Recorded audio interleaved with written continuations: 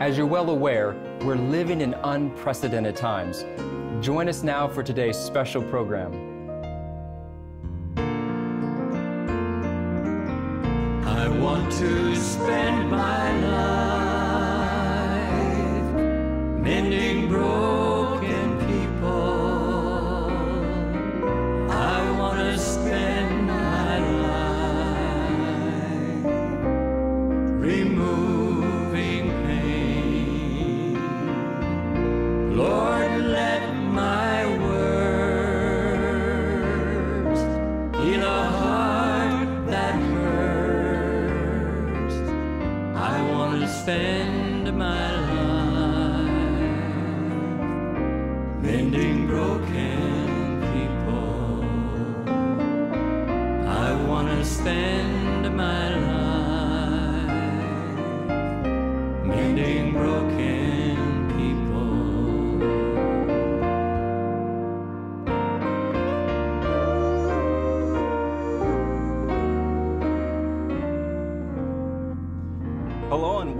to another 3ABN Today Live. I'm Jason Bradley and I'm so glad that you've decided to join us whether you're watching on TV or you're on 3ABNplus.tv or you're listening on the radio. It's great to have you here. You are a blessing and you are a very, very important part of this ministry.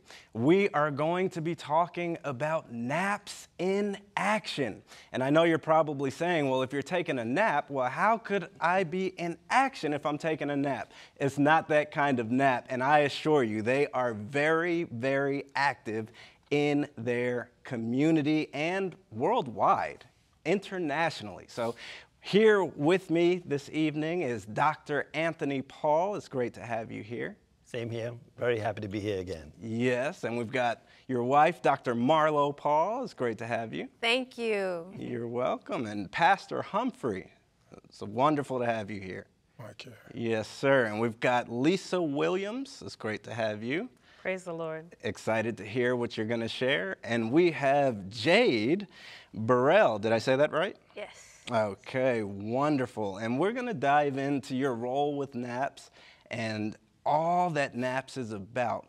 But first, I want to share this Bible verse, and then we're going to listen and be blessed by a wonderful song.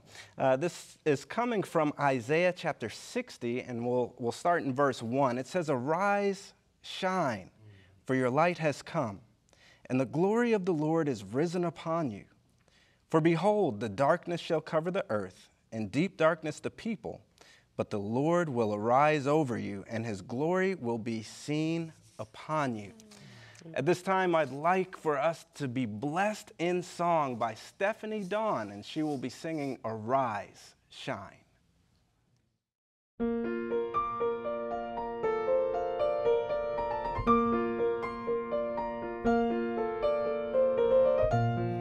People in darkness, they stumble with eyes that cannot see. Alone in the they hope for the light,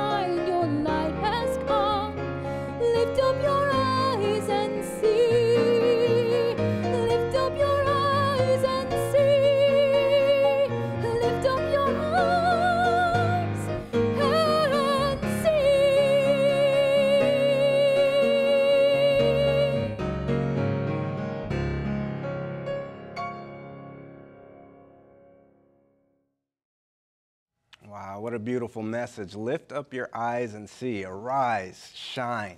I want to find out a little bit about your background, Dr. Paul. Where are you from? Uh, tell us uh, a little bit about your professional history, all of that as Okay. well. Well, I was born in the beautiful island of Trinidad. Oh, nice. nice. So you know about the roti and the doubles. I can make them for you too. Oh, Watch I out. wish I would have known that ahead of time.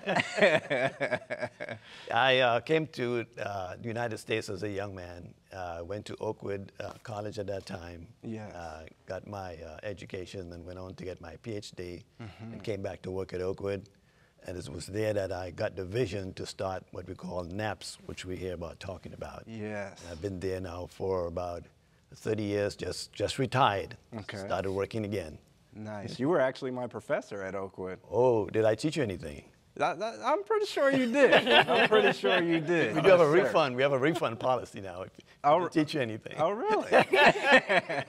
yes, yes, you did. Dr. Marlowe, what about you? Yes, so um, I was born and raised in Colorado. My roots do go back to Itta Bena, Mississippi, and that's a, another testimony that we can share later. Okay. And I went uh, to Oakwood, and then I matriculated to Loma Linda Medical School, where um, afterwards I did my residency in internal medicine.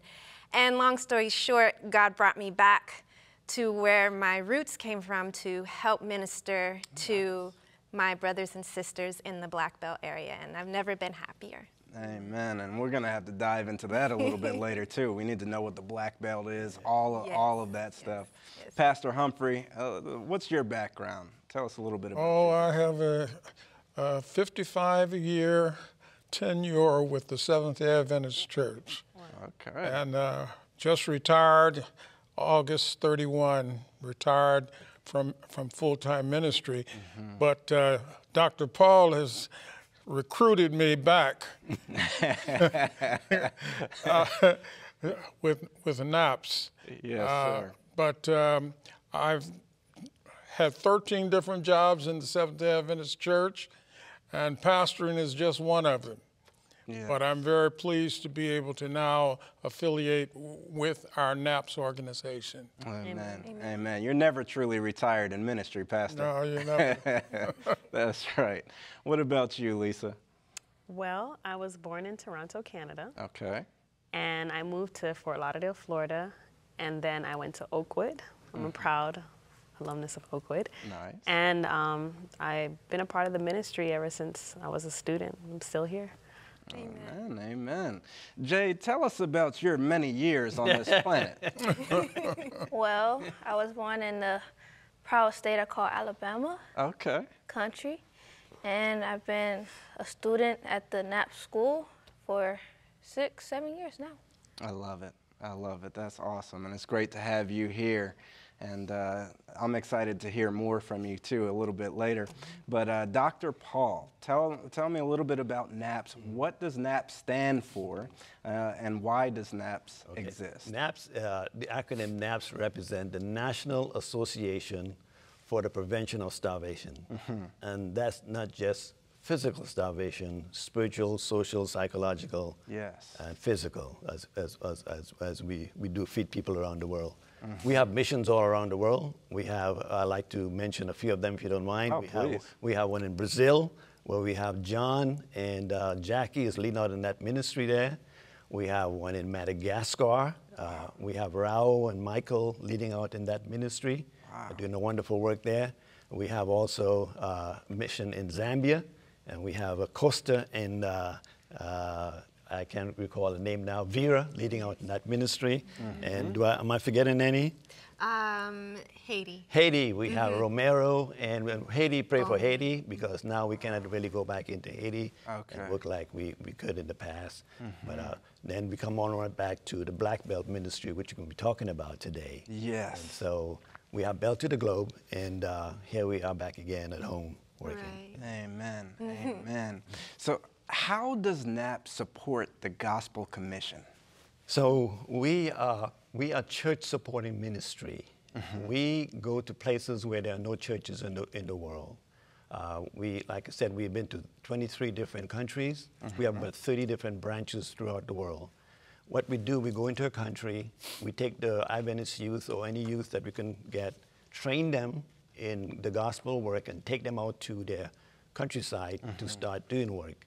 And when we're through training them, we then empower them to do likewise. Nice. So over the years, over the 25 years we've been doing uh, foreign ministry, we have over 25,000 individuals added to the Seventh-day Adventist Church. Amen. Wow. Wow, that's powerful. That's powerful. And Dr. Marlowe, how did you become involved with NAPS? Like, when was it at that point that it was like, oh, I need to be involved? Well, I think it probably started at home. My uh, mom was mm-hmm. always instrumental in making sure that we put others first, that we serve. She was in charge of Dorcas, feeding the, the hungry, clothing the naked. So when I stumbled upon this organization, NAPS, I said, wow, Mm-hmm. this is what I've been raised to do. And God put that passion in, in my heart because of my mom, who's a God fearing woman. And so it was just wonderful to find an avenue by which things that we had been brought up to do, we could mm-hmm. express and continue to do. Amen. Amen. Now, we've talked about the black belt briefly. We mentioned that, right? But what is the condition of the black belt and what is the black belt? Well, the black belt, now I'm from Trinidad, and Okay. usually my escape over the years was, don't ask me, I'm not from here. but I've been drafted into this in, in this work by. Uh, we'll come to that. My my dear uh, ad- adorable pastor over here, Pastor Humphrey. But the Black Belt is a region that stretches from uh, the Mississippi Delta, way throughout uh, uh, Louisiana, through uh, Mississippi, Alabama, into Georgia. Yeah. It's a 50, 100 mile wide strip of land. The soil is black. The people are predominantly black. Okay. And that's where the cotton plantations were over the years. Oh, wow. Yeah, and, and so it's a place where when you, when you superimpose poverty, Mm-hmm. uh, hypertension, diabetes, and now COVID, Yes. this place lights up in the United States. Yes. The high, the high frequency. And so, my dear uh, professor right here, I call him my professor, yeah, I love him very much, love him a lot. Yes. Uh, he's been our CEO over the m- many years for NAPS. Uh, and he'll tell you how he was drafted into that. And he's the one that has been provoking us over the years that we have belted the globe with this work, but it's a work undone here. So I, I want to I wanna, I wanna send the torch over to him. Okay. The experience because he's a, he has a wealth of knowledge, and I bow to him. I don't worship him, but I bow and yield to him. Uh, well, Jason, I uh, got involved with NAPS uh, in 1997. Wow. I was a contented de- departmental leader of the adult ministries department of the North American Division when uh, Dr. Delbert Baker came to my office one day and said, I'd like for you to come to Oakwood and uh, be the advancement and development vice president. Yes. Well, you know, if you say Oakwood, everybody wants to work at Oakwood. Uh, and uh, I saw a vision for that, and so I accepted and uh, went to Oakwood by his, uh, at his in- invitation. Uh, the job that I had was to cultivate donors Okay. uh, to identify donors and cultivate donors and and uh, and uh, bring them into the fold of Oakwood uh, so that they would contribute. Yes. and uh, uh, we got some to do it. Well, on one particular alumni homecoming, one of our main donors, in fact, I th- it was the top donor, doctor, I believe, uh, the, said, said, I'm going to come and visit Oakwood. Okay. So it was my job to take him on the tour. Uh huh. And uh, I showed him a number of things, but then I said, I'm going to show him the Department of, of, of Biolo- Biological Sciences. Okay. Because they had just discovered through their research something that had to do with uh, SIDS, Sudden Infant Death Syndrome. And it was published nationally. I said, he'll like that because uh, he was a MD himself. Okay. We went down there to Oakwood. He walked right past the drawings and the, the, the pictures. Publications. Yeah, he, he walked right past that. And Dr. Paul invited him, us into his office. Mm -hmm. Well, when we got in there, Doc went under the desk and pulled out this somewhat besmirched uh, drawing. Okay. He rolled it out and he said, This is a school I want to build in Haiti. Wow. Well, I said, well, you know, we're wasting time. We need to get on with, with something important. This is our top donor here. Mm-hmm. But the donor's eyes lit up. Mm-hmm. And he said, and it shocked me.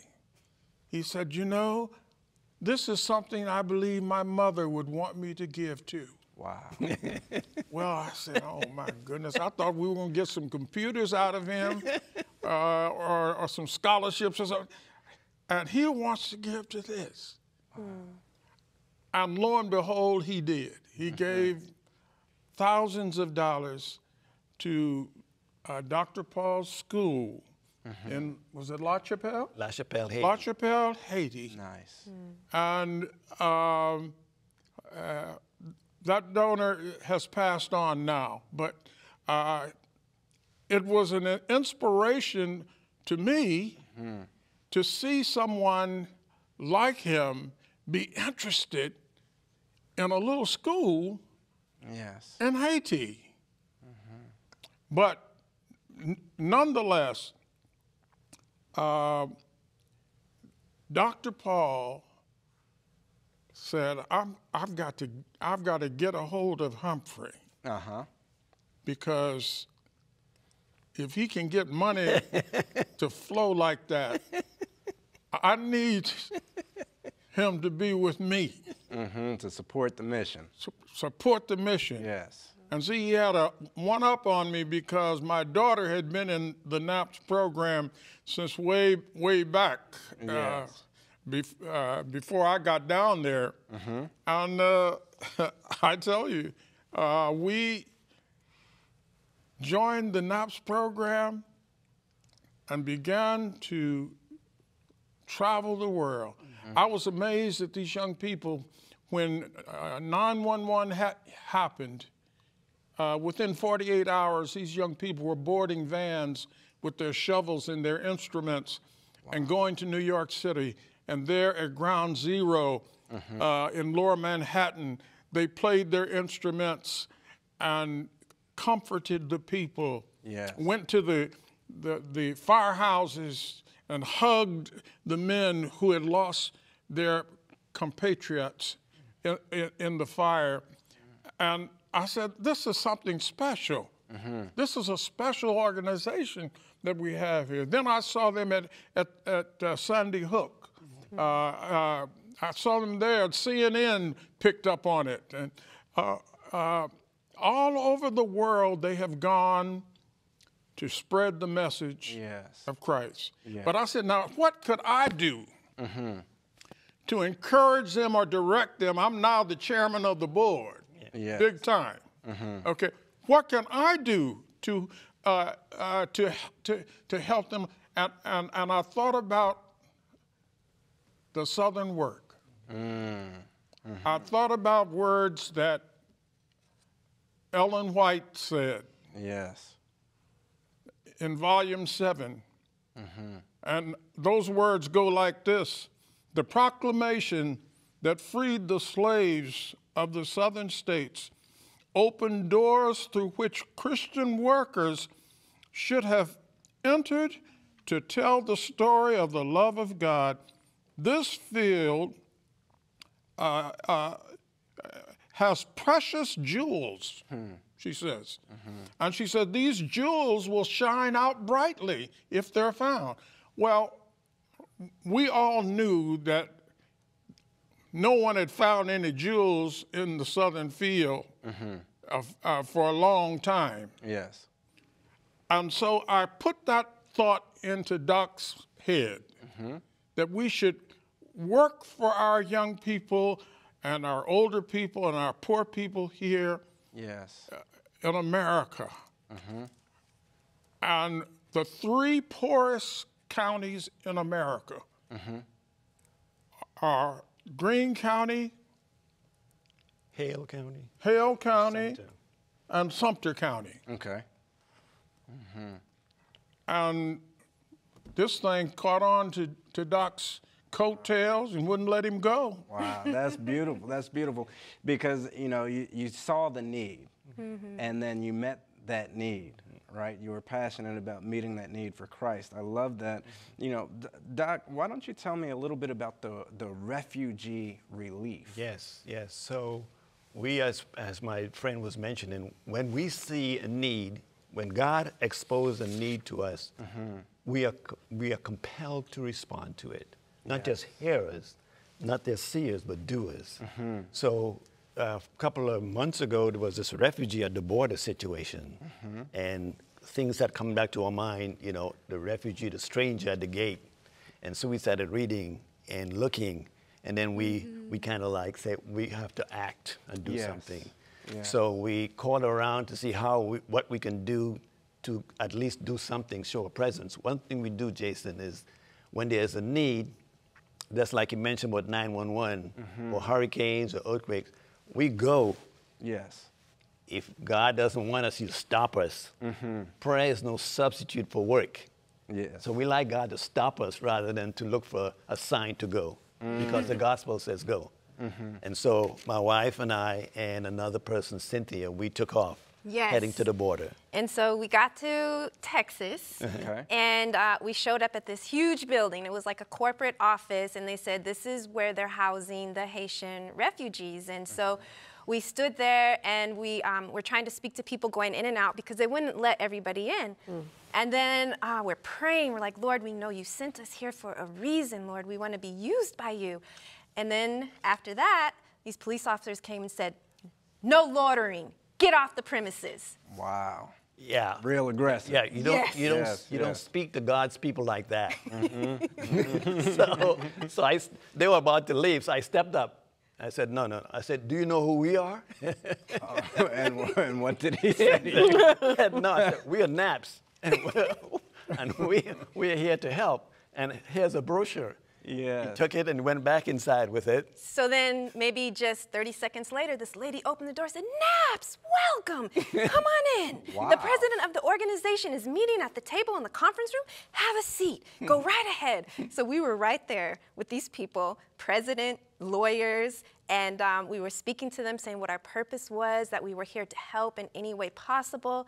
And he said, Well, actually, we do have a lot of refugees that we had to put away at the hotel because they have COVID and nobody really wants to work with them. Would you guys mind working with them?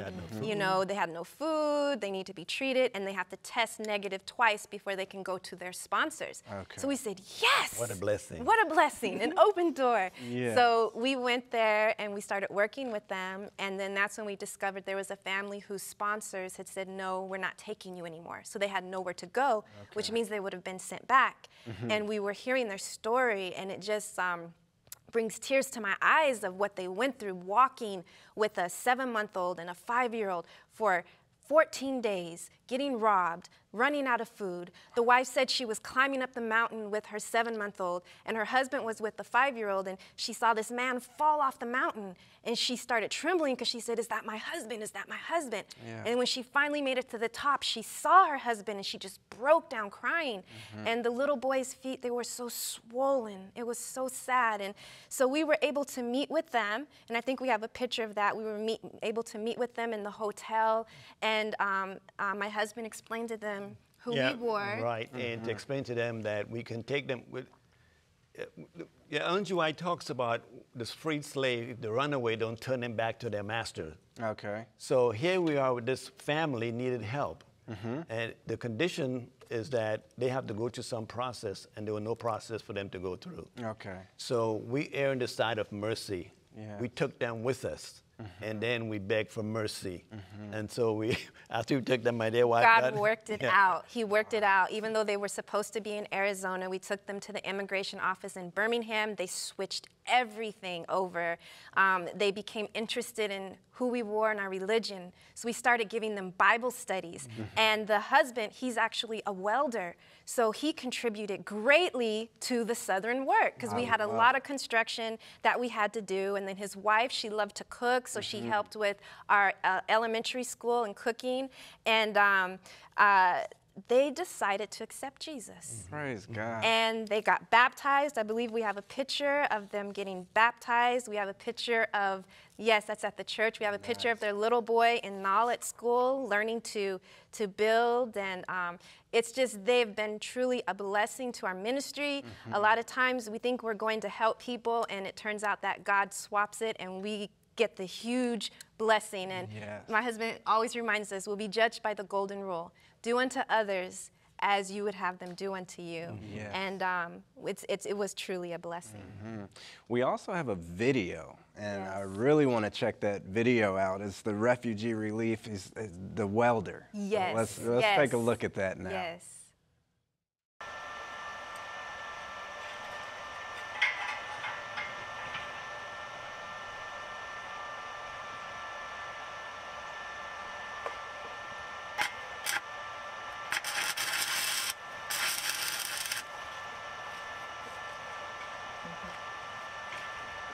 Bon travail. bon travail. Okay.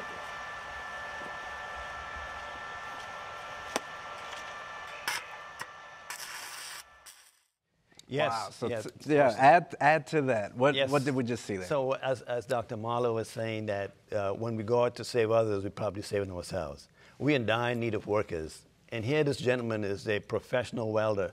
What he was just making there is a big giant pot because there's a lot of starvation in the area and we need bigger pots to feed people. Mm. Now that place that we talk about, the southern area, where the slaves once existed, there's a the interesting story, a history, and my historian friend have a he have a juxtaposition of the emancipation and the birth of the church. Could he briefly give us a little background on that? Yes, the in 1863, okay. Uh, the Emancipation Proclamation, uh, um, Abraham Lincoln freed the slaves in the border states. Also, what happened in 1863, the Seventh day Adventist Church was organized officially and registered. Okay. And so I have made the con- connection that uh, this was God's answer to the remedy for slavery. to help people out of slavery, the diet, Yes. the rest, and so forth and so on. Uh, it was amazing the things that needed to be done, but they had not been done. And so in uh, 1891, I believe it was, Ellen White spoke at the General Conference session on a subject, Our Duty to the Colored People. Hmm. And in that speech, she told the brethren what they were doing wrong hmm. and why they should, should have al- already been well on their way to assisting this poor, wretched group of people in the back, Black Belt. Hmm. And uh, the Emancipation Proclamation is mentioned in Volume 7 Oh, wow. volume seven of uh, the of the testimonies. She says the proclamation that freed the slaves in the South opened doors through which Christian workers should have entered to tell the story of love of the love of God. Okay, and that, And so there is a, a, a tremendous, I don't believe it's a coincidence mm-hmm. that the Adventist church was birthed during the time, during that tumultuous time. Mm-hmm. Okay. so, and that is where our work came in.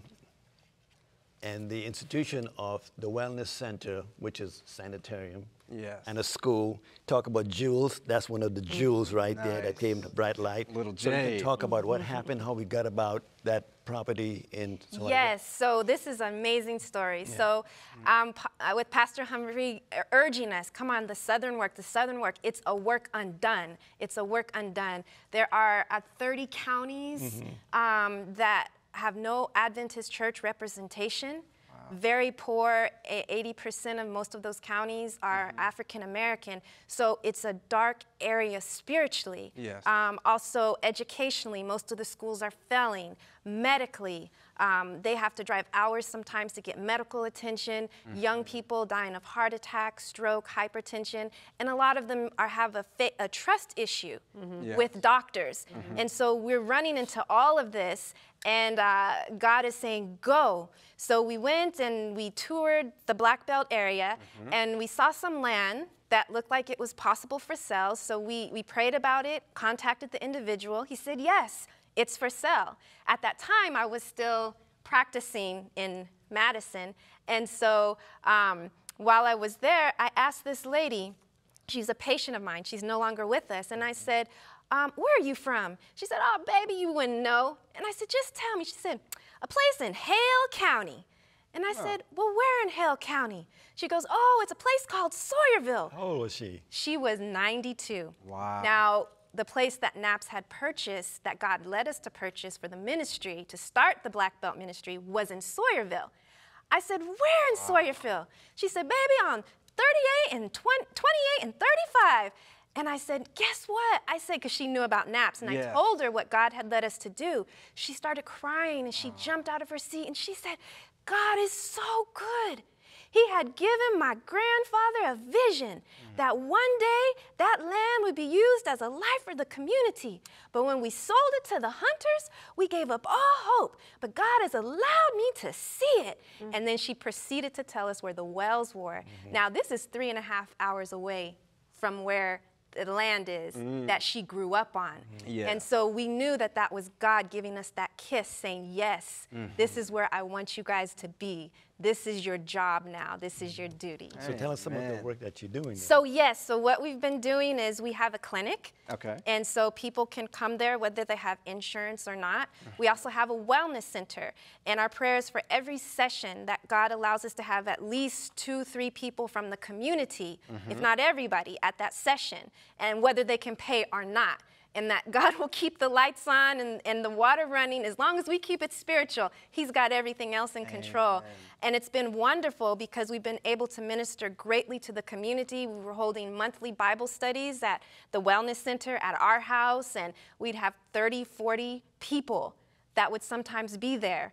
Um, not Adventists, but they were hungering for the gospel. Yeah. But the medical work was the wedge. So we have a uh, medicinal herbal farm, and what we would do is we would put together different things to help them and teach them about you know what this is, what this plant is, what it can do, and te- educate them. So we would always um, do that once a month. Yes. And so one day um, there's this lady, and she came and she said, I just got a testimony. Uh, those herbs you all showed me about, they help me. They help me a lot. Help with my pain, help me with my energy. And she's like, and I told my boss about it. And she said, Well, how much did they charge you? And I said, Well, they didn't charge me anything. And she said, Well, will they take a donation? She said, No, they don't take any money. So then my husband, Yeah, I said, whoa, whoa, whoa, lady. we don't take money from you, Yes. but we need money to run this operation. Yeah. so anyway, she's like, "Oh, okay. Well, I'll talk to my boss and let her know." And so she spoke to her boss, and she said, "Boss, I think I think um, they're one of you's people." And so her boss said, "What do you mean?" She's like, "Well, we offer to help them on the farm, on, but they don't work on Saturdays." So her ah. her boss happened to be um, Stephanie. Stephanie McElroy, it's the mm-hmm. McElroy family, and they are Adventist. And they live in Sumter County, mm-hmm. part-time Sumter County and in Tennessee. And so Stephanie said, there's Adventists in this county? Because there's no church there. Yes. She couldn't believe it. And she said, and doctors? She said, I really would like to meet them. So, unbeknownst to us, she and her husband had been praying and saying, Lord, this is a work undone in the southern field in the Black Belt. We mm-hmm. want to help finish this work. They were even going to go to Oakwood and try to recruit a couple to settle down there and sponsor them. But then, unbeknownst to them, God had already sent NAPS, and through this precious handmaid, He connected us. And ever since then, we have been working together to push the battle to the gates. Yeah. We have, uh, I think, a video of them where they've joined. They join us on outreach, community service projects, and um, as Pastor Humphrey said, Ellen White said back in the day, she admonished the church to do it. It wasn't quite done. Oakwood, do it. Wasn't quite done. So he's bringing us back together again, saying, let's get this undone work finished. Mm-hmm. Mm-hmm. Absolutely. You know, the beautiful thing is how God orders our steps, right? Yes. And how He prepares the way and opens the door and connects the people to co labor together with Him. I mean, that, that is incredible. I want to find out a little bit about Cuba, too, because Yes. you're active in Cuba. Can you uh, share, share a little bit about Cuba? Yeah. So before we get to the video, so we have these stations around the Black Belt. Well, let me back up a little bit. What happened, Jason, is mm-hmm. that a tornado came through some time back, and you probably know about it because you Yes. 3ABN help us to gather some funds for that purpose Yes. to rebuild. A tornado came through and took out our school, her school, took out four houses that were under construction, almost finished, and uh, just put, set us back greatly. Then we had a, a, a friend from California sent some money in the uh, To help Farley- us, Farley's? Farley's, uh-huh. And then we are able to do some work. And then we have another the McElroys again. We want to keep calling their name because they are blessed and they are a blessing. Mm-hmm. Amen. And so while we were constructing, I had a vision one morning, and that vision was to advance the work out from the, the, our center and spread it throughout the Black Belt. Okay. And I'm saying, why, Lord, you're giving me a vision like that when we are under rubbles? Yes, And yes. so, so we had a plan. We had a little plan set up again, a little drawing. And then that morning, uh, Jay, my good friend, I love him. He's, he's, he's a man of God he, because the Lord speak, spoke to him. Yes. He texted me that morning uh, and said, What is your vision? Let me know your vision. And so we went right away and said, we drew up our vision of we want to plant families throughout the Black Belt. Yes. Five acres, a house. We want a medical mobile unit. Mm-hmm. We want a truck a tractor A to tractor create a community garden for for, each everyone. of those different Nice. spots. We had a wish list, and we had something that NAPS will put in that we will contribute because my wife and I were the main contributors to NAPS before this situation. And so we presented the proposal to the family, and after two days, uh, he wrote back. Not only did they fund the requests for those items, but our dream and our wish list was also funded. Ah, so this time we're saying to you, we're not here to raise funds. We're not here. God has taken care of that now. For seven years, we labored. Yes. Now the time has come just to find workers to work. Mm. And we are saying to your listeners, if you are about to write a check to NAPS, send 80% to 3ABN. Oh, wow. Yeah, yeah, 80% of that to 3ABN. Wow. Because that's unusual, right? That is unusual. I'm just, I'm speechless over here. I don't know what to say, but yeah. God loves these people, and He loved these people, and, it- and it's a work undone. And she said, "There's a stain." There was a there was a reading that you had there about. Yes, this is in Testimonies, Volume 7. It says, The Lord is grieved by the woe in the southern field. Christ has wept at the sight of this woe. Angels have hushed the music of their harps as they have looked upon a people unable because of their past slavery to help themselves. And yet, those in whose hands God has placed the torch of truth, mm-hmm. kindled from the divine altar, have not realized that to them is given the work of carrying the light to this sin darkened field. There are those who have turned away from the work of rescuing the downtrodden, the degraded, refusing to help the helpless. Let the servants of God begin at once to redeem their neglect, that the mm-hmm. dark stain on their record may be wiped out. Have mercy, Lord. He's giving us a chance to, to wipe out that dark stain. Yes, yes. Yes. Wipe their chairs, so Jesus. Yes. Yes. And to talk about the southern work and the medical work that Yes. you guys. Yes. I, I, I want to transition to Lisa because Yes. Lisa is sitting over here, and I know she wants to tell us about some outreach. Yes. What's going on with outreach, Lisa? God has really blessed us to be able to reach the children in the community. And we know that by reaching the children, we reach the parents, we reach the home, we reach the community. Yes. And um, when COVID hit, NAPS is a very active ministry. Mm-hmm. Every day we're doing something. Yes. I'm doing three or four things at one time. Mm-hmm. And when COVID hit, it was kind of like, man, what do we do? How are we going to reach these people during these situations? So we started to visit. We wore a mask and we have our, we did what our protective gear, mm-hmm. and we went out into the community. We started visiting communities, and we found this young lady, and she was with all these little children Yes. said, she looked like she needs some help. Mm-hmm. so we decided that we were going to come visit her.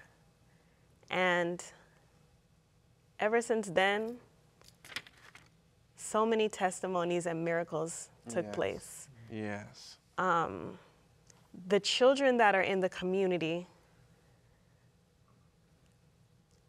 when you knock on their door, mm-hmm. you can smell the weed Oh, at the door. At the door. Yeah. Sometimes the kids would come to our program mm-hmm. and they're filled with urine. You can smell the urine even before the child comes on your lap. When we would make spaghetti for them, mm-hmm. the plate is empty. Mm. This is this is America. Mm-hmm. And what if we hadn't gone? Yes. Who was going to take care of the kids? Yes. So we have every Saturday, we would go into the community, kind of do like a branch Sabbath school and teach the children about God's love. Amen. And in the next session, you're going to hear the testimonies of the kids coming to our school and having a total reformation and transformation. You're going to hear that testimony. Mm-hmm. But I just feel so unworthy that God chose me, chose us to reach these children. And I'm just so glad there are still precious jewels in the southern field, and God has chosen us to be able to reach out to them. Amen. Amen. I think you have that picture with you with with you when she was because you talk about that. Well, um, a few years back when we were um, in the community, went to a boys and girls club, Okay. And I remember seeing this little girl, this Jade in the pink. She would sing. Um, we were teaching about creation, and I think she was like five or six. She learned the whole creation song in like 15 minutes, and I'm like, "Who is this little girl? How she know all of this?" And we never knew that she would be that precious jewel that was going to be a part of our lives, a part of our family. Jade Yeah. was at one of those kids programs, and now she's a part of us. She has accepted the faith. She is a warrior for Christ. She's out there feeding the kids and um, reading them and teaching them about the love of God. Yes. She has been an inspiration to us, Mm-hmm. and I just praise God that we went. Mm-hmm. Amen. Amen.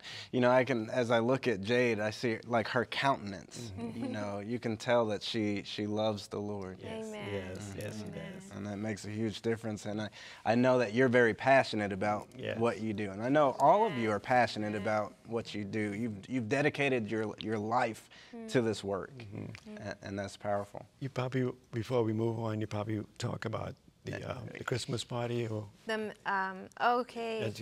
Yes, so we, we were able to do a wonderful outreach um, during Christmas. It's Oh, in a village called Jenna. Okay. It's a dirt road. And um, we got together um, with the McElroys. We came together as a, a family and a group.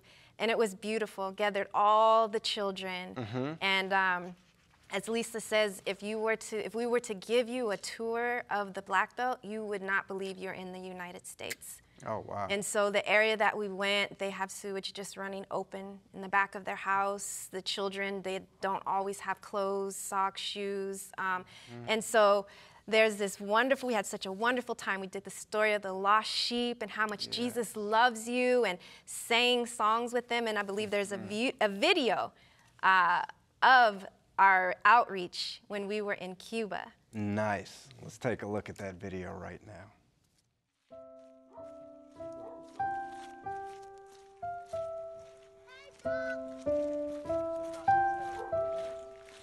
Correct.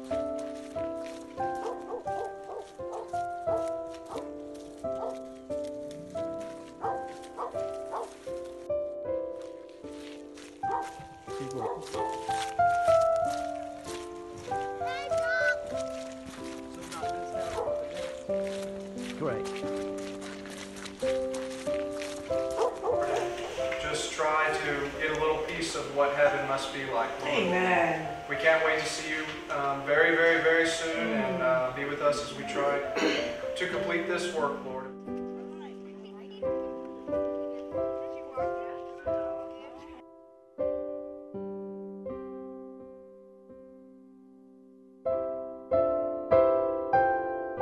Our McElroy family, we're going to sing some songs for you guys while our um, skit team, you guys can get ready and put on your skits.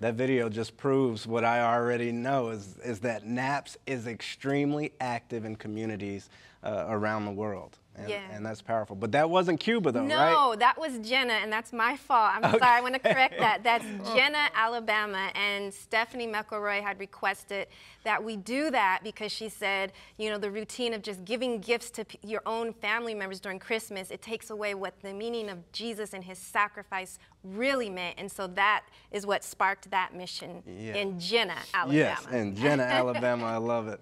All right. Pastor Humphrey, why don't you tell us a little bit about what took place in Cuba? This is not Cuba in the West Indies, Okay. 90 miles offshore. This is Cuba, Alabama. Cuba, Gotcha. Alabama. We were out in, in hunt for some land that we wanted to place a family on there and and have a wellness center or something. And so we took with us uh, Cody McElroy, who is the, uh, the, the the son of uh, uh, Mr. McElroy, who Okay. owns a trucking company. And um, as we rode up the road, we found the sign, 20 acres. Yes. But we said, let's go a little further Okay. to the end of the road. Mm-hmm. And when we got down to the end of the road, there was a couple, a black couple, picking greens Okay. in their garden. Hmm. So Doc said, let's stop and make friends with them. So we, we purchased some, some greens and we began to talk Okay. about uh, uh, the black belt. yes. Well, as it turns out, the uh, I introduced everyone. yes, that's right. You- he introduced everyone, and when, when he got to uh, Cody McElroy, he introduced him. Okay. And so the lady in the garden said, "Is that so and so McElroy's son?" Yes. And lo and behold, it was. And she said, he used to bring Christmas gifts to us, or his grand, grandfather. Granddad, uh-huh. Yeah, every Christmas. Christmas. Wow. Wow. That's beautiful. Yeah. We actually have a video, and I want us to go to that video where we're gonna we're gonna see some very interesting things taking place. Oh. Let's check that video out right now. Wow, I love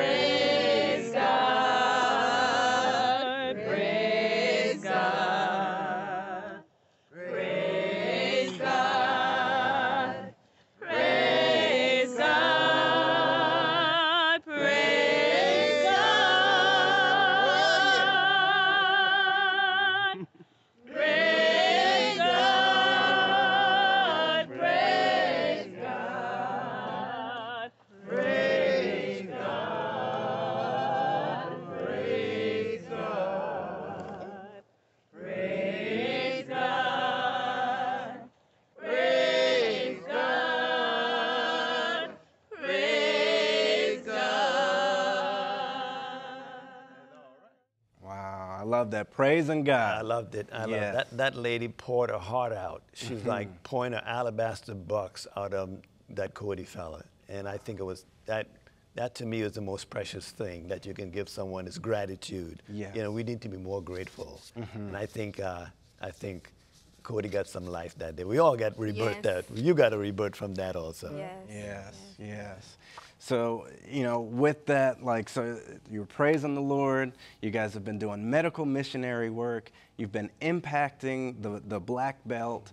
Um, how does that make you feel in terms of your faith?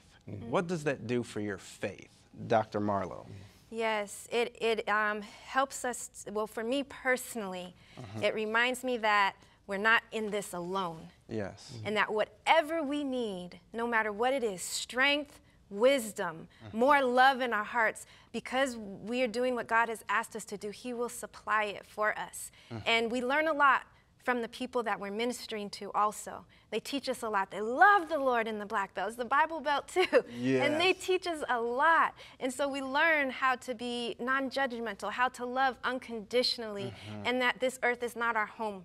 And that there's not a lot of time left. Amen. So we need to use every moment. At the end, we don't want to say, I could have done more, Lord. Yeah. I'm sorry. Mm-hmm. Yeah. No, we want to say, Lord, help us to do all we can do now. Yes. Mm-hmm. So that's why NAPS acts with a sense of urgency. Yes. Yes. Yes. Dr. Paul, what has it done for your faith? You're the president and founder of NAPS.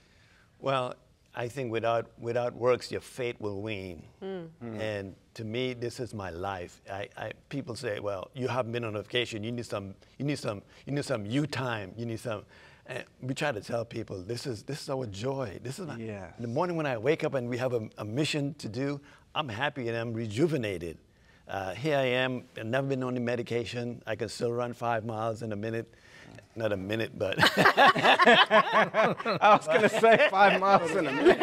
it might be the fastest I'll man in the world. in a minute. I'll respond in a minute. But uh, this is the joy of life. There's no greater joy than serving. Amen. Amen. And I'm so grateful for the service. of especially now, Jason, now with the COVID situation, that we are able, because God has blessed us, to go into the community. We are getting calls Every every day. day. Yes. But we have to go in and treat people. This is a time for the church for us to rise and shine. Mm-hmm. God has blessed us with His health message. Amen. And we're ready, always ready to go. Amen. And I love that. Always ready to go. I can't believe this first hour has gone by so fast. In just a moment, we're going to be playing a, a little musical chairs. We'll have some more guests coming on. So don't go anywhere. Tell your friends to tune in, and we'll see you shortly after this break.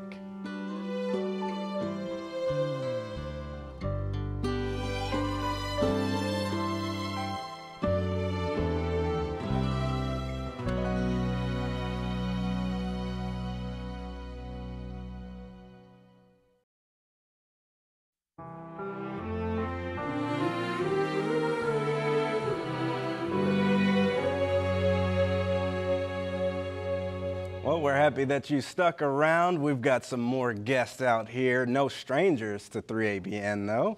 We have Tori Price. Tori, it's great to have you here. Glad to be here. We have your wife, Darla. It's great to have you here, Darla. And then we have Dwayne mm-hmm. Williams. It's. Yes. great to have you here. And Jade, you stuck with us.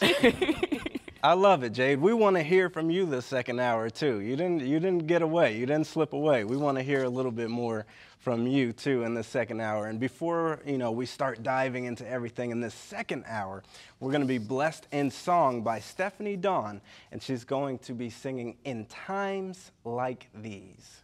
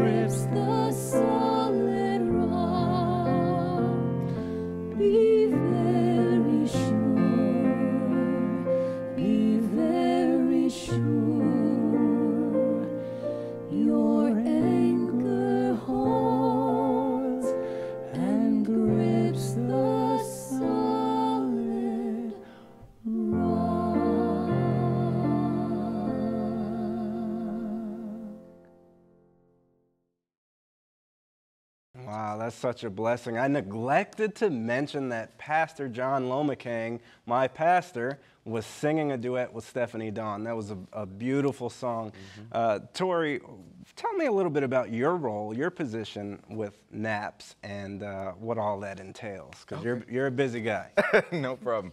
I think that's one of the joys of a small nonprofit is uh, you think you're wearing one hat, you lift it up, there's about 20 more under there. but, um, and right now my goal is I'm focused on the donor relations aspect of things as well as communication, so website, social media, those types of things. I've been with NAPS since 1999.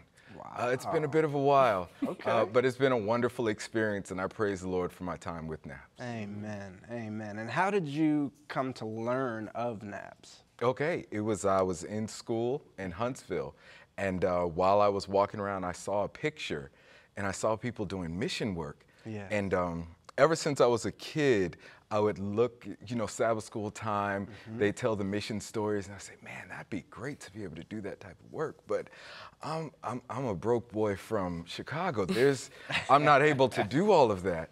Uh, and so, uh, but the Lord blessed. I inquired about the picture, and they told me that it was NAPS and the work that happens. And I said, "What? Right here? Yeah. I can do. Th- I can do this work. I'm seeing other people do it."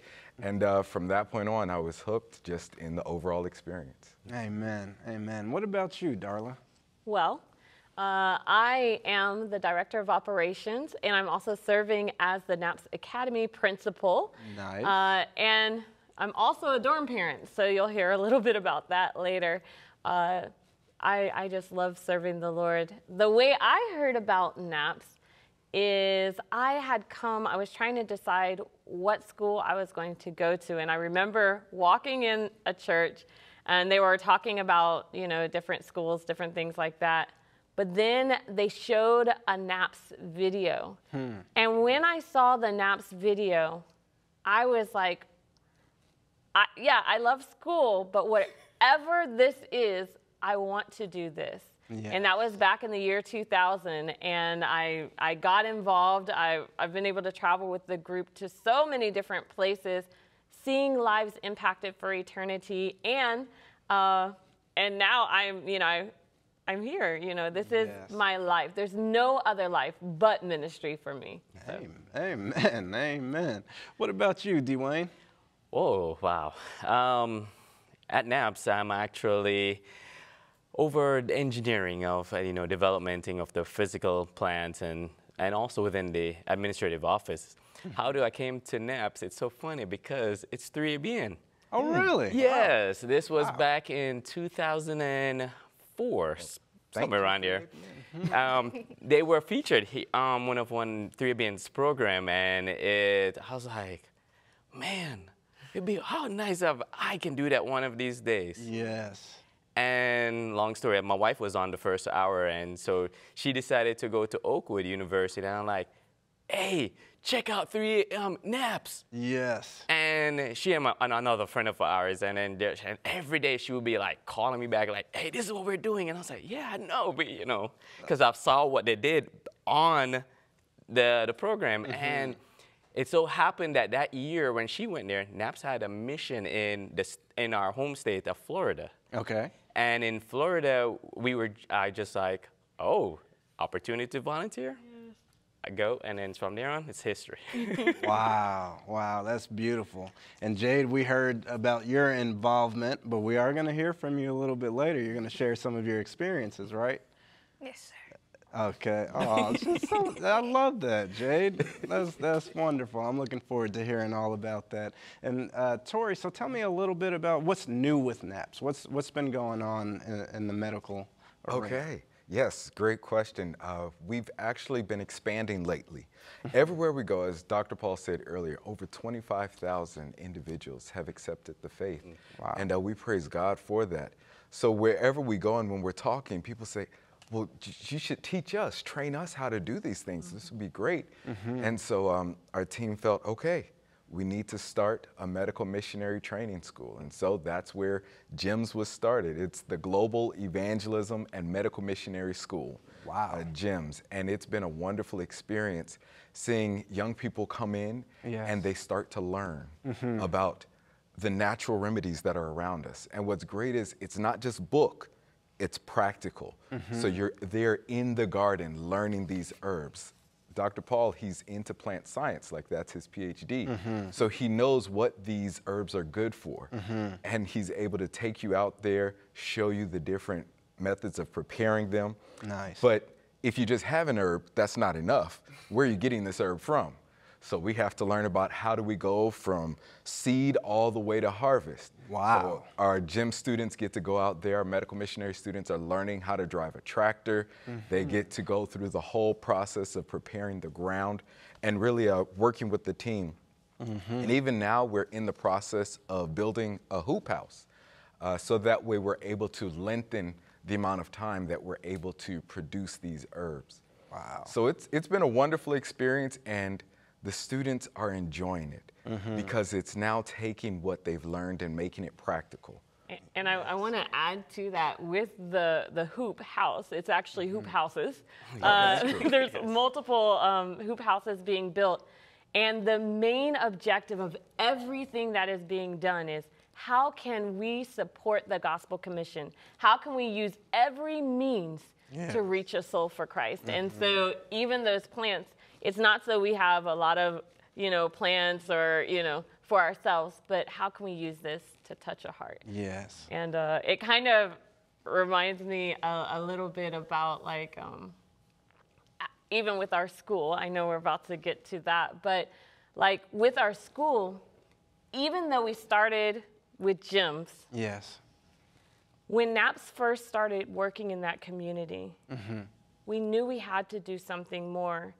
And the school, it's NALA, it's the NAPS Abundant Life Academy. Nice. And it started when one of our volunteers, every year we'd have a team of young people that would say, I want to take just a year off, you know, and, mm-hmm. and so every year we have a different team, just a year off. But this team, instead of traveling all overseas and or going all over the country, they said, we want to go to the black belt. We want to serve in a region that's been forgotten. Yes. And as they were serving, they were helping in this school, and they saw that there were 12th graders that couldn't read or graduating at a second grade level. Wow. Students that were, were so far behind. Mm. And they said, we have to start a school. Yes. And not just any type of school, but we want a school where the young people, this book, The Southern Work, Mhm. it says that the people in this area, the children, if they were taught, would go back and they would evangelize in a way that no other person could. Yes. So that became the fire behind the school. Like, we don't want them just to learn, we don't want children just to learn math or English Mhm. or that's good. It's a means for reaching souls. Yes. But we want them to know the importance of service. So, like, when it comes to the school, godly character is the most important achievement and and making sure that our children see the importance of love and service and and and they love we re- we love reading the bible together. It's it's our main textbook and so this is one of one of the main things and uh, we have some different pictures. Uh, because as the students come they're in nature Uh huh. Uh huh. the our classroom doesn't have walls for more than one reason. You'll see with the tornado, you know, uh, we're still working on our, our, our building structure, waiting for more carpenters. But the students do a lot of learning outside, and these children they they they see God through nature. Mhm. And then when it comes to reading the Bible, it's not just where we read it, but we actually show them how the Bible is real. The kids are always asking, Miss Darla, is this real? This is real? This really happened? Yeah. Are you serious? You know, and they're, they, you know, they, they never, they've seen all these movies, Mhm. but that's not real. Mm-hmm. But the Word of God is real. And, and our, our students, there's a picture of, of Jade. Mhm. Actually, each morning they start out with devotion. They read to one another the, the Bible, the older students. Mhm. They read to the younger students. And that's, that's part of their learning. That's service, that's love, and that's the Bible. So um, those That's, are. that's that's beautiful. And you know what? I love the fact that you know, again, like you've you've identified the need, right? How can you you how can they grow and sustain, learn to sustain themselves if you're not reading at a proficient level? And so affecting or impacting the, the literacy rate, raising that rate up, and teaching them about the gospel. I mean, that's that's powerful. It's so crazy. Uh, just last week, we have a, for the first time ever, we Mhm. took a four year old student. Now, our school is a boarding school, so you have to understand that we don't always, we, we ha- have never taken someone so young. But we took in a four year old student, and just last week, I was talking to her family. They're not Seventh day Adventists, but you don't have to be to love the Lord. And so as she was, um, as I was talking to them, and I was telling them how their child was doing, they were like, "Oh, we already know. Every single day, our child comes home and she tells us every single Bible story. I know about Cain and Abel. I know about Noah's Ark now. I didn't know all these things, and now she, she teaches us all. And even the songs, her little cousin is four years old too, and she's taught her every single Genesis 1 1 and all the songs that you're teaching them, she's teaching to others. That's four years old. Wow. So now- and she's learning about the Sabbath, she's learning about the seventh day Sabbath. That's yeah, that's powerful. So it's, it's just a blessing to see that they're already grasping the importance of love Mhm. and sharing with others. It's not something we force on them, but when you have something so good, why would you be able to keep it to yourself? Yeah. So that's, that's yeah, so it's a little ev- evangelism taking place out of a four-year-old. Yes, yes. Yes. And and um, even one of the grandmas was telling me she was like, I want Bible studies now. Wow. Um, just because of what she's been seeing. That's beautiful. That's beautiful. And so, Tori, I want to come back to you because I, I want to continue down that, that medical, the GEMS, as you called it, right? GEMS. Yes. I want to continue down that because there was a, a testimony in there. Oh, yes, Yes. about uh, one of our recent students. Mhm. Um, there's a video that we have for you that's going over her experience. She started out as a Mennonite. Oh, wow. And um, the Lord just led her down through various truths, and now she's accepted the Sabbath, and she's actually on the campus. Her and her husband are both in our GEMS program, and uh, you'll hear her give. I think it's a great synopsis of what life is like in NAPS. Sometimes as we talk, it's like, okay, I think I get this, I think I get that, but she really gives a nice broad picture of what the organization is really about. Got you. Well, let's take a look at that right now. My name is Annette Conrad Milogo, and I just want to share how me and my family found the wonderful campus, NAPS, and all that they're doing here, the Southern work. I was, so I was a Mennonite, raised Mennonite, thought I was just fine. And then, my first year of college, I encountered like something different actually i met my husband at the same time and he was from a different country and he had a different way of praying different way of praising different way of eating different way of talking. And he loved jesus so much i was like i've never i've never met somebody who loves jesus so much. I started on a journey to loving jesus also in a way that I'd never understood before. And it started with a very broken prayer Lord, help me to do what you want me to do. I didn't know what it meant. That's when Jesus touched my heart with powerful truths like the Sabbath and things that have just changed my life. Then we started looking up Seventh day Adventist writings and a friend gave us like oh if you listen to that guy maybe you would like this lady's writings. So we started he had listened to them before he even met me. But then after we got married we started on this journey together. And so as we god was purifying us little by little we were able to really appreciate Ellen White's writings. And the way that it helped us in our spiritual growth we couldn't believe it until we finally met some people at NAPS who were trying to do a lot of what Ellen White has, has recommended that we do. This place is busy doing what Jesus said to do, reaching out to the lost. It, everybody here is busy saving souls, whether they be souls in the community, whether they be the souls of the people who help on campus, whether they be the souls of patients who come to the clinic, of students at the school, whether they be the souls of donors who give, whether they be the souls of us who are living on campus. All of our souls are being saved in such a beautiful way. The work is going forward, step by step, soul by soul. And that is lovely lovely thing to be a part of. And I'm very thankful that Jesus has brought me here and given me a purpose and a work to do. Now that's that's a powerful testimony.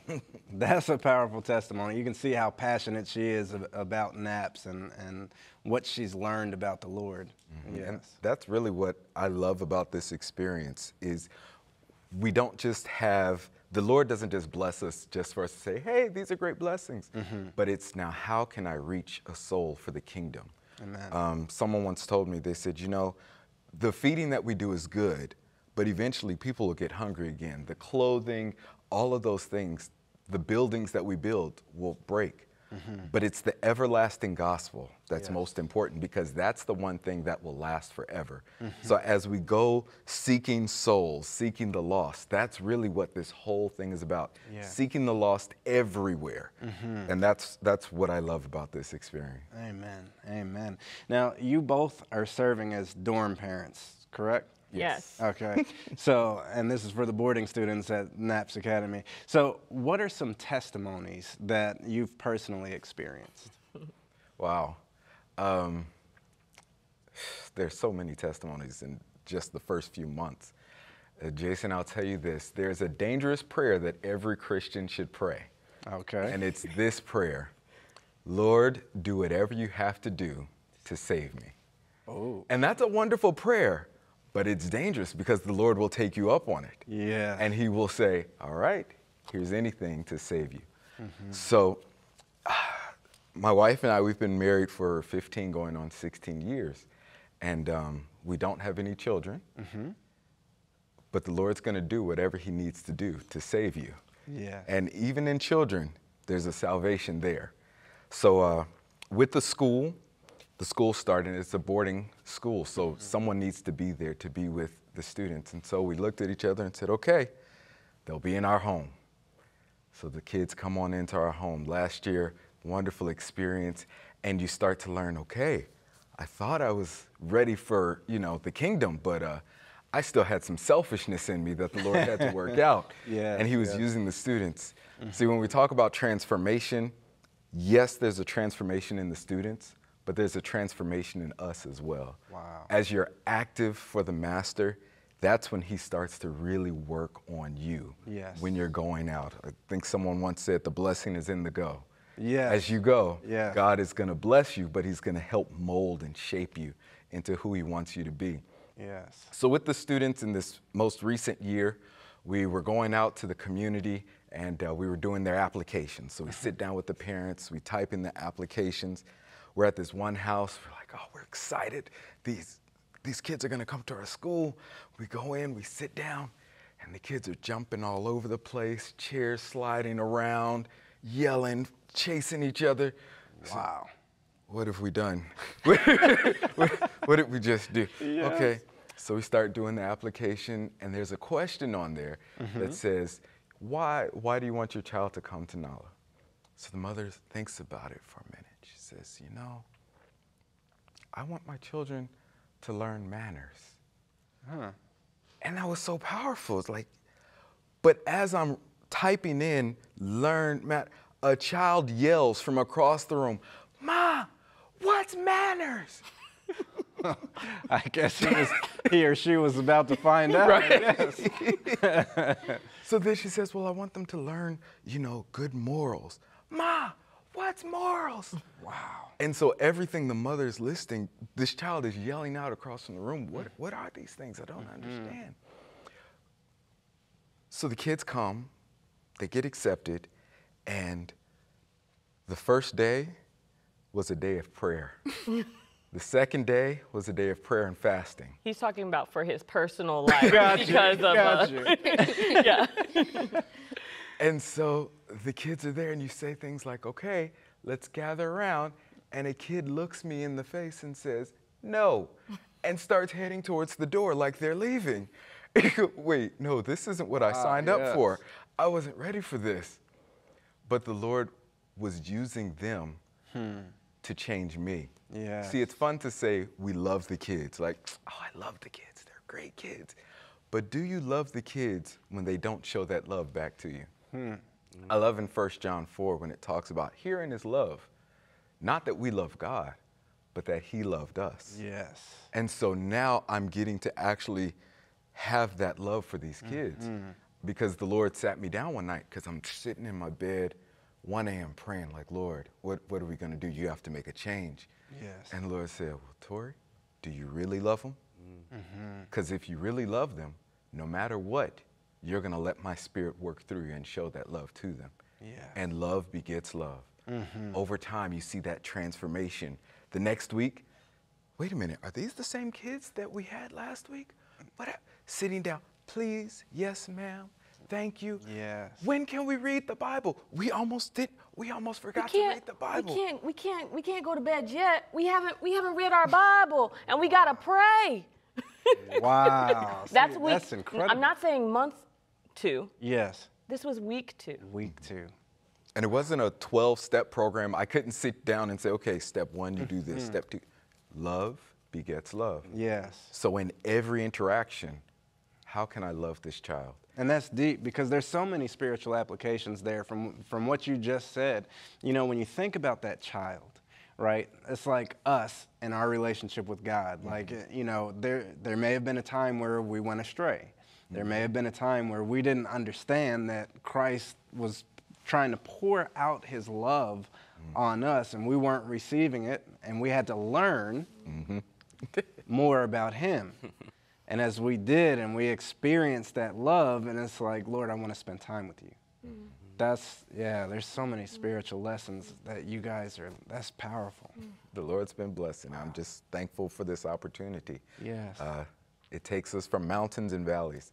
And uh, the other blessing, I guess, in it is even with Jade and our older students, because sometimes, even though we're dorm parents, we're also monitoring other aspects of NAPS. And so we can't do everything. Mhm. So our older students, that's the beautiful part of the process is they then are able to step in. Yeah. So in that picture you saw earlier, Jade was sitting there reading the Bible with them. So Mhm. they're able to have worship. And that forces them to mature as well because they have to s- fulfill that role of being an example to the next generation. Yeah, that's, that's powerful. Darla, what's been your experience? Well, I, I, I just praise the Lord. I love children. I really do. Mm-hmm. Um, but one thing that I really, I think that has touched me more than anything was right before Christmas. We saw the video where we we went with this to this community, and Mhm. I don't know if you could really see the poverty in the community, but this is an area where right behind the, it's just straight open sewage. It's the the houses. Some may not have doors all the way. It's a when we walked in there, the kids had no shoes. Their whole holy clothes. It felt like I was in another country in some of the poor uh, countries that we have been to, and so this past um, right before Christmas time, I told the children we want to we want to do something special, and I showed them um, I showed them actually a, an experience where Jade Yes. had touched some lives when she was just a little girl. And they saw this video. You'll see it a little later, but they saw it and they said, you know what? We want to help these people too. Hmm. And they started, these are the same children. They said, I have toys. We can give them my toys. And and what if what if I don't need all my clothes? I can give them some of my clothes, you know? And Yes. so this wasn't me asking them. That was just the love of God changing the heart. Mhm. And I, I know they don't necessarily have all the things that they want, but that they would love in such a strong way to give of their own. They didn't say, Can, can you buy some and we give that? No. They said they can have mine. And, and I, I think when I, as Tori said, it's, it's changing me. Mm-hmm. I thought I was, you know, ready. Jesus, come back soon. I can't, I can't deal with this anymore. And now I'm like, Lord, there's children out there crying. And that could be me. I know my, my family, I know how we came to know about truth. Yes. And if nobody had come for us, because I'm I'm African American, I'm from the South, that's my that's my roots, but somebody pulled my family out. Mhm. So whenever now I'm working, I, I see my eyes in their eyes. They're not they're not unteachable. Yeah.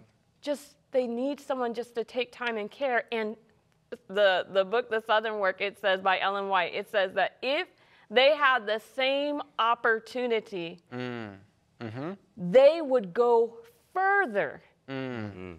So that that makes sense for why the enemy would attack them so greatly. And I see that. They're already they these are kids who when I first met them, some of them couldn't even they didn't know their whole name. They only they only knew their some of them their nicknames. Wow. They didn't know, oh, that's my name. I had to I had to teach them their names, Yeah. let alone how to spell their names. And this goes up to you know 9-year-olds. So, but they're in school.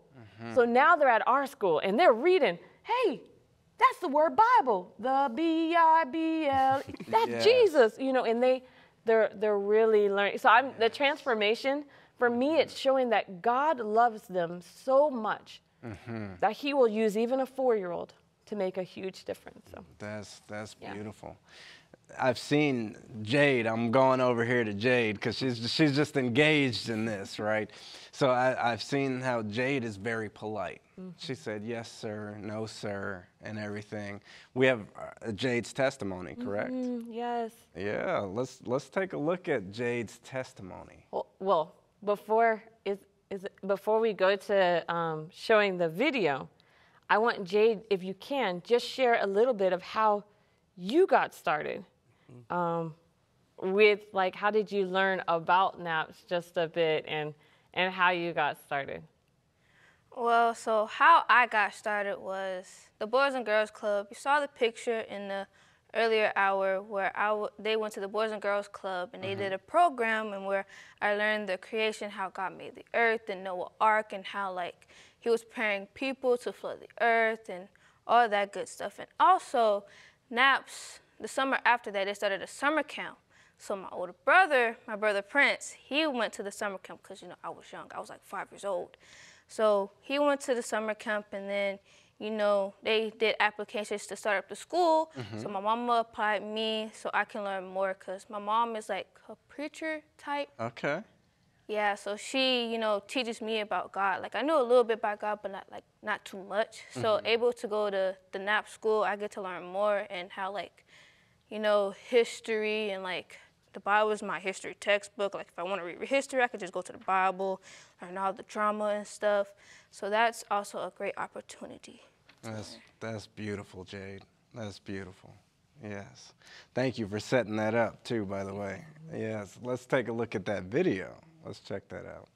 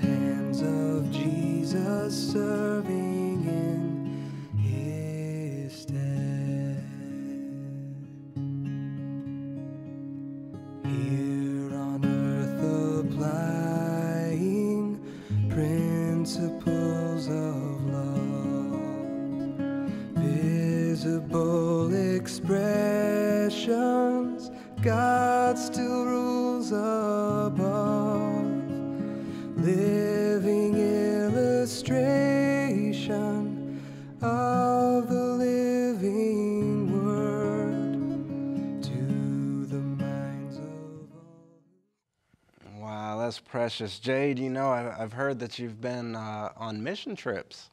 Why don't you tell us a little bit about that? Yes, it's been a blessing to go on different missions with NAPS to learn and to impact other kids and teach them what I have been learned at the NAPS school. And some of the things that NAPS were able to teach you is how to do other academic stuff, like secretary. So there's this one picture of doing secretary to like help get the presentations for the churches and school programs and all that good stuff. And you know, you know, you can get to do other opportunities like help homeless people, feed homeless people. So there's also this other picture of where I'm help cooking for a women's shelter. And just know these women don't have homes or they are hungry. So they're not like they don't have shel- like homes to go to. So it's also been a blessing to help those who are in need. Yeah. And also in the video, it just reminds me of how like even in other countries, I still can help by letting like give what I have got to NAP so they can help other people. Mm-hmm. And so it's been a real blessing. Mm-hmm. That is a blessing. You know what, Jade? I think you just need to get your resume together, fill out an application, and see us in a few years. that, that's great. I love your heart for the Lord and the, your heart for service. That, that's incredible. And one thing about the school is the students they they do vocational as well. And so, Jade, can you share um, what is your what what do you help with at the school? And um, she has each of the students have different jobs that they assist with. So the job that I assist with is clinic. So Okay. I want to be a, doc- a pediatrician when I grow up. So I go with Dr. Marlowe. This is a picture of me going to work with Dr. Marlowe to help, you know, to learn what I can, so I can be mm-hmm. advanced and learn and hope to learn more. Yes. When I So, grow older. what, what made you decide to go down that path? Well, a lot of sick people and you know, COVID really like, you know, just hit me because, you know, some people are like taking this other stuff, but you know, they're still getting, you know, tested positive. They're also getting sick, and some people are dying of COVID. Yeah. So me learning the stuff that I can and able to share out with the world is able to help other people from, you know, sparing their lives and also help with the people who are sick. Amen. Amen. And then the most important uh, objective of the NAP school Mm-hmm. is sealing the deal. Like we want each of our children, each of our students to leave with that godly character. And one of our highest days, I mean, there wasn't a dry eye in the place. Mhm. Um, the day that we we had our, a week of prayer, and when the appeal was made, the majority of the school stood up and said they wanted to not just give their hearts to Christ, but they wanted to show it through baptism. Wow. And Jade was one of those uh, one of those students, and we have a, um, a picture of her being baptized by um, by one of our, our teachers, our chaplain, who had worked. You know, he's a that's like it was just bringing it all together. Yes. And so I'm, I'm just I know that her heart is sealed for the Lord, and she has touched not just our lives, but even the lives of her family. Amen. And so. Amen. That's that's powerful. I don't have kids either, but if I did, I don't know. I, I might have to send them to the NAP school. this is this is incredible. There's a lot of great work taking place out there for sure. Now, you know, there's been uh, a devastating, uh, I guess, natural disaster that took place that impacted NAPS. Why don't you tell us a little bit about that? Sure. Um, just a little bit short of a year ago, um, in March of 2020, just before we were about to embark on our evangelistic series, we actually, um, our prophecy se- seminar, we were actually was going to start the Sabbath afternoon. Thursday, tornado came through. Wow. We know it was from the devil. Oh, he, yeah. he definitely did not like what we were about to do. And then it wasn't even that because uh, maybe two weeks before that, Mm-hmm. we had a week of prayer for the community. So you know we were moving in the community, Yes. and it just was just one of those things that the devil says, "I'm going to wreak some havoc." Mm-hmm. And we know that even here in Kentucky, in Kentucky and Tennessee, they just went through their disaster. Yes. And our hearts are with them because we understand the struggles in even getting rebuilt. Mm-hmm. But what what Satan sometimes meant for harm, God meant for greater good. Yes. You see, um, you know, we can look. Um, we have a video of how it, the what the days after the tornado Yeah. was, so you can actually see, so people can remember. Mm-hmm. Because um, we have our share that message here, Yes. and we can show that, and you will see how completely we had lost more a total of five buildings. Wow. But God was so good. His mm-hmm. hands of protection was over us because all the buildings were our dormitory at that mo- at that time Okay. did not get touched. Praise so God. no no personal items were lost. Maybe the, the things in the schools, books, and actually it wasn't even fully lost because after it took off the roof, we were able to retrieve the items from most of the items from that school building. Wow. And put place it in our food warehouse. Uh huh. And it's it's just that God is you. If should I just go into the testimony of how even us being protected in that Yes. storm because we saw it, the the alert coming in and we ran we gathered everyone on campus Mm-hmm. ran into the wellness center building our safe place Yes. and we were just huddled between two bathrooms Wow. which is our more most interior rooms and the kids were praying the kids were singing we were all praying and it came through quickly but when we came out the destruction How much time do you think, um, from the time you saw the warning to the time you were like, okay, we've got to get everybody, you know, in a safe place, and then the tornado hit? How much time, if you had to guess? Well, um, there's a couple of timeline because at least the day before we knew we were going to have significant Okay. weather. Mm-hmm. So the day off, we were like, uh, light. work. We weren't really we were just like on edge. Yes. But the moment from getting the oh yes, there is something spinning to getting everyone was not even 20 minutes. Wow. So we had a roughly about 20 minutes to get everyone into safe area. Wow. Um, till then, when it passed over. So I just recalled when the alarm or, or emergency signal says, warning, tornado warning, tornado in, in your area. Yes. I was at one end of the campus, jumped in the truck, sped down, blowing horns, gathering everyone, and then just everyone just moving quickly. Mhm. And it was just, after that, as we got in, within not even two to th- five minutes, it's Hmm. passing right over. Wow. Wow. I mean, when you look at that damage, and I sit here and I look at you all the sitting here, I'm just amazed at God's hand of protection over you. In fact, let's take a look at the damage that that tornado uh, did. Let's take a look at that now.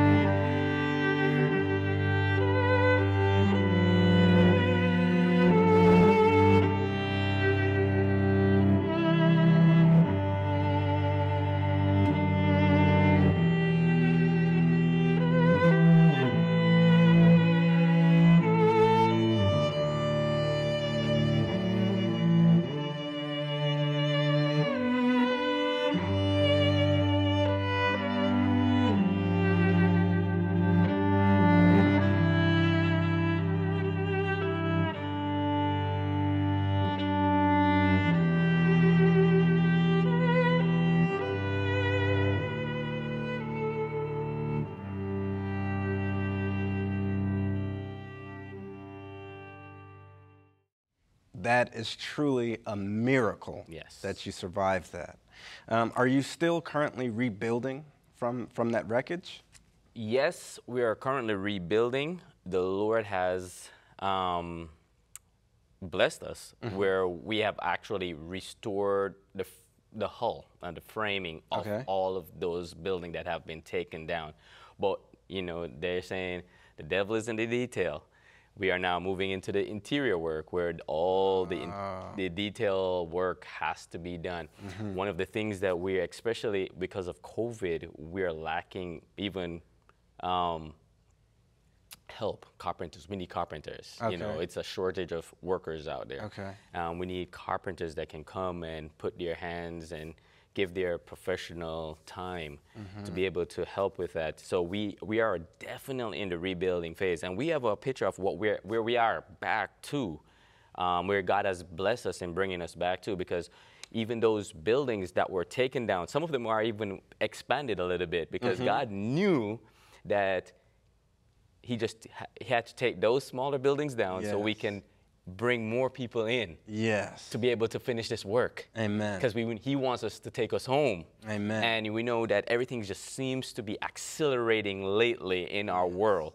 And we know that God wants us to move. Yeah. And so that's and that's because even out of this destruction, Mhm. birth the expansion into different counties. We have different about five different locations that are we're setting up homes. We have a Yeah. place in Noxapater, Mississippi. We will have a picture of that, um, of that where we can actually. But you know what was so good about the rebuilding portion of this? Yeah, this is Noxapater in Mississippi. The what it was the the real testimony in this is the amount of help that came, the Yeah. testimonies that came through. Yes.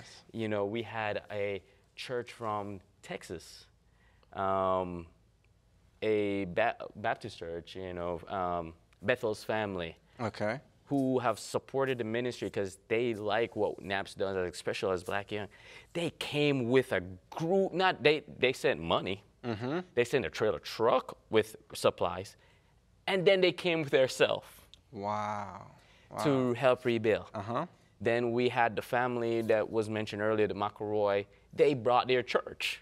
Yeah. The whole Meridian Seventh Day Adventist Church came out in full force. Men coming with chainsaws, Yes. different things, tearing walls down, Mhm. bringing, and it was just such a good thing of Christian unity in a time when it was needed, no matter what. And it was just, it was just so wonderful to see the body of Christ coming Mhm. together to be able to serve, and just as this is not going to stop you guys from ministering because we realize that the work that you're doing, and we want you to continue. Yes. Yes. And it's, it's just a beautiful. So I, I- I want to know because since I mean you're still in this rebuilding process, you're Mhm. still in this rebuilding phase, and that, that's such a blessing that they they came, they gave of their resources, they gave of their time, and all of that stuff to help. But I know that you need more resources, and I know that you need more people to volunteer their time. And perhaps there's somebody that's out there that's listening to this or watching this, and they're saying, you know, I want to support the wonderful ministry of NAPS. I want to support what NAPS is doing. How can they get in touch with you? hmm Well, um, you first of all you can call. Mhm. Uh, our number is I, I think they're actually going to put it on the screen, but our number is 256 Mhm. 262 7712. Uh, you can call, we pick up, leave a message if we don't assume that we are on the battle for the Lord. Yes. Um, but when you call, and even when people call, sometimes they may need support themselves, like Mhm. prayer. A Mhm. lot of our, our supporters, sometimes they're going through a hard time. So even if you, you know, just need a little prayer, you know, you want to support, but you need support, you know. Yes, Um, and then also there's our website. Mhm. Uh, you can go to napsglobal.org or you can visit, um, just send an email, naps at napsglobal.org. so uh, yeah, so there's many different ways you can contact us and, um, and you can reach us that way. Yes. All right. Well, what are some other testimonies that you can share? Because I know you have well, some dark. I was going to one of the big things while he was talking. Yes. I was I was just bursting at the seams because I think it's so powerful how God took the tornado. See, when he describes it just a little bit, Mhm. it reminds me of the times we're living in now. Yes. He said, well, beforehand there were some warnings. You know, we had been told that a storm is coming. And so preparations were made. And I'm like, man, if we had not prepared, say we had just gone about or not even been uh, attuned our ear to the warning, Yes. then the story wouldn't have been the same. Hmm. Part of being saved had to do with listening to the warning. And I think that right now we're there's warnings all around us. Amen. Jesus is coming back soon. Mm-hmm. He has given us one major commission go. Yes. More than ever, like, I, I think it's a time of looking are, are we responding to the warning? Mhm. Are we heeding the call to go? Are, or will we miss out on this, this salvation? And the powerful thing, too, is after, after the storm, I remember, because all the students, you can imagine the fear during it. But it says perfect love knows no fear. And I remember when they walked out from where we were, our safe spot in these, you know, our safe spot, their hands lifted up in praise to God. Mm. They were praising God for support. They saw the destruction, Yes. but they knew that God had spared their life.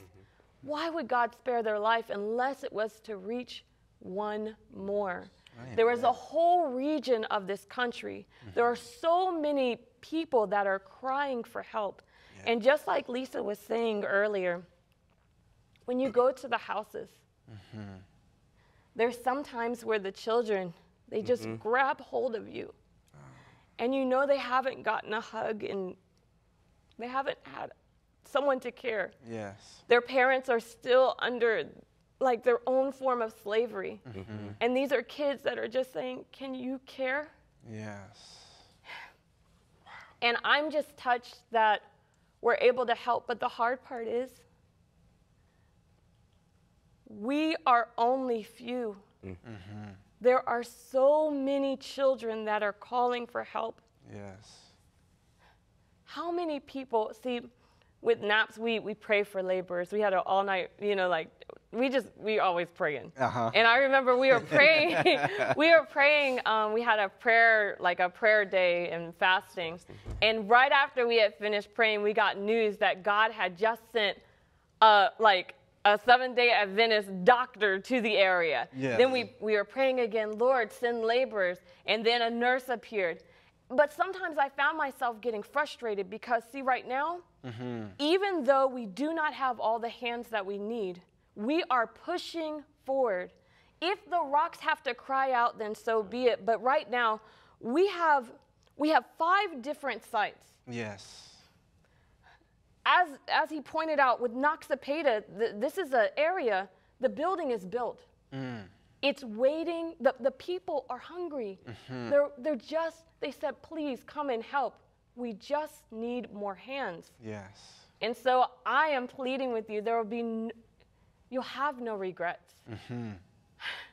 When my husband and I left our, you know, our paying high, you know, like Yeah. nice jobs, we have lacked for nothing. God has given us everything we need. That's beautiful. He just works it out.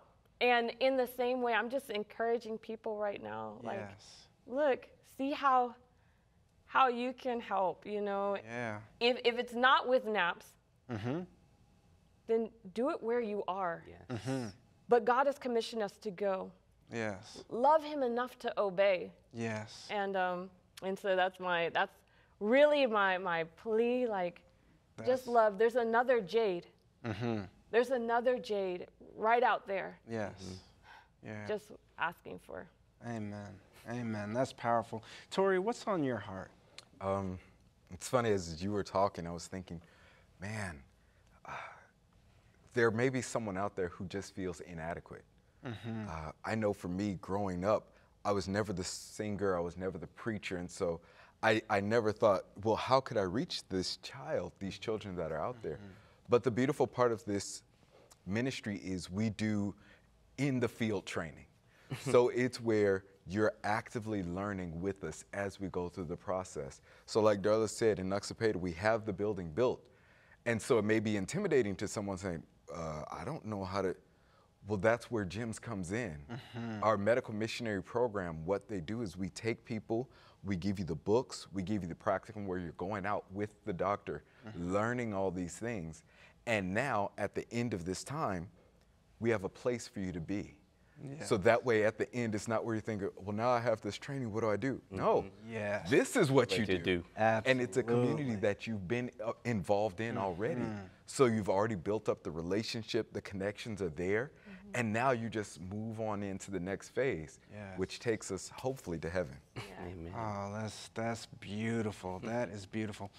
How important would you say it is for you to stay connected? Because I, I, I heard that you pray a lot. How important would you say that it is to stay connected and stay in the Word of God doing what you do? It's mm. top, mm-hmm. topmost because when you hit those discouragements, Mm-hmm. when those tornadoes are hitting, when those sirens are going off, when you have these other trials, it's the faith that you've built on already that's able, at least for me, to give me the mm-hmm. encouragement to say, okay, Lord, I may not like this situation, but I trust your hand. Amen. And God has never failed me on that one. It's like a superpower. Prayer allows you to see the unseen. Mm. Yes. Amen. Amen. And that's so beautiful because, you know, you're learning more and more each day, I'm sure. And you're applying that, you're sharing that. And I look at Jade again and just what she's learned and what she's brought as well. And so it's, it's inspiring. So thank you for answering the calling that God has placed on your life. Can't believe we're just about out of time. Answer the calling that God has placed on your life, and we'll see you next time. God bless you.